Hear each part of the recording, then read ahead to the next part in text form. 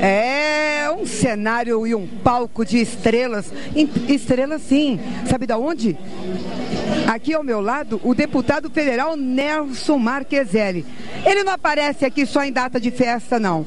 Ele vive mandando verbas para nossa cidade, acredita no trabalho do nosso prefeito municipal, sabe da seriedade que ele tem com a verba pública e essa festa é muito importante, principalmente por Batatais ser uma instância turística e o deputado vem aqui conferir em loco se tudo aquilo que ele manda lá de Brasília para cá está sendo aplicado realmente naquilo que ele destinou.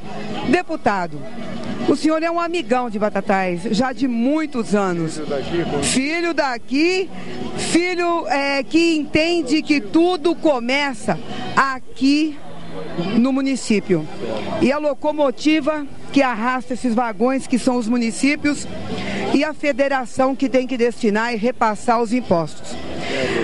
No meio deste contexto complicado, que saímos de uma crise econômica mundial, Batatais está fazendo uma festa com galhardia, estrutura, onde tantos municípios cancelaram as suas festas.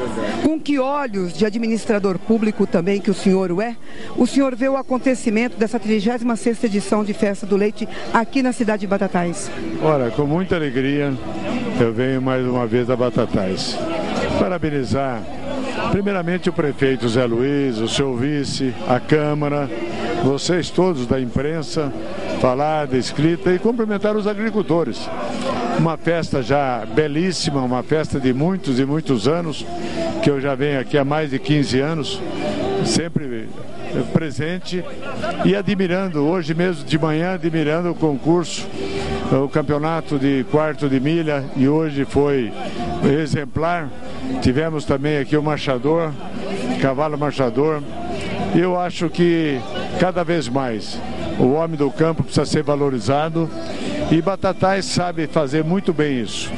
Nesse desfile e nessa manhã maravilhosa.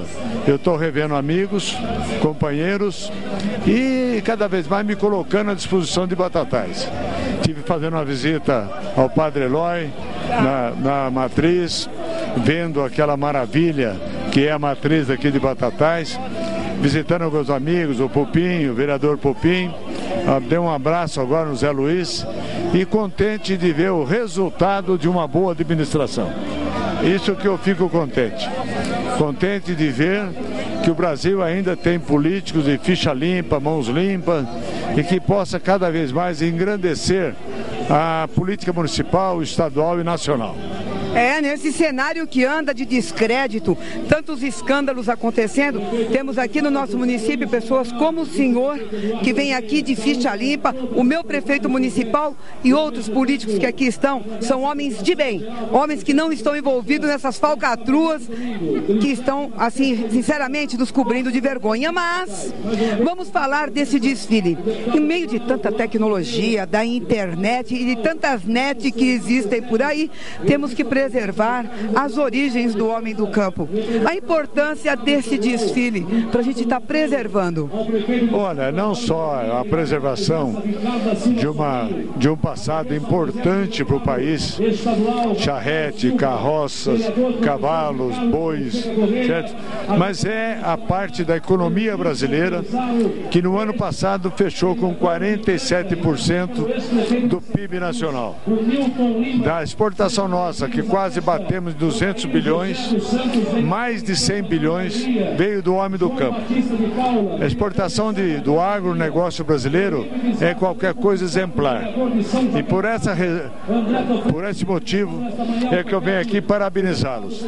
Parabenizá-los porque é importante continuar produzindo para que o país tenha na mesa do brasileiro alimento de qualidade, com preço acessível e tenha condições de cada vez mais exportar exportar qualidade para o mundo, porque o Brasil hoje é a bola da vez do mundo.